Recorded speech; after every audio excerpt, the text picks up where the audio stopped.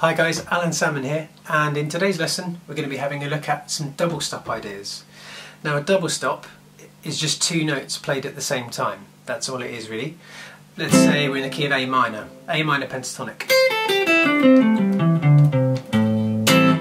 What two notes can we play together? Well first of all, let's say the A note and we'll choose any other note from that scale. Play it together, see how it sounds.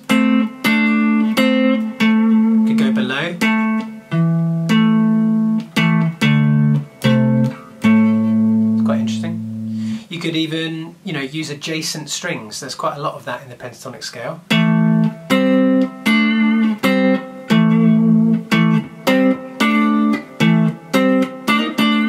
You know, that's a double stop lick. You could also try maybe a pedal lick. So that's having one note played constantly and a melody played alongside that note. Maybe this top A here and we'll play uh, let's go for this.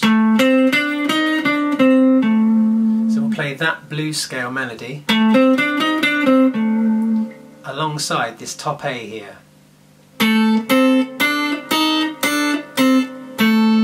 Kind of classic blues lick. You could do the same thing in a major context. If the chord was C major, you'd play C major pentatonic same as A minor pentatonic. And perhaps bend a note, choose another note from the scale, play at the same time, release the bend.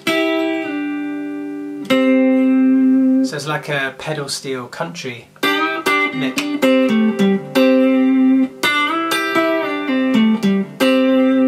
Some really interesting sounds there. Thanks guys, that's it for today. Hope you enjoyed the lesson and I'll see you again soon.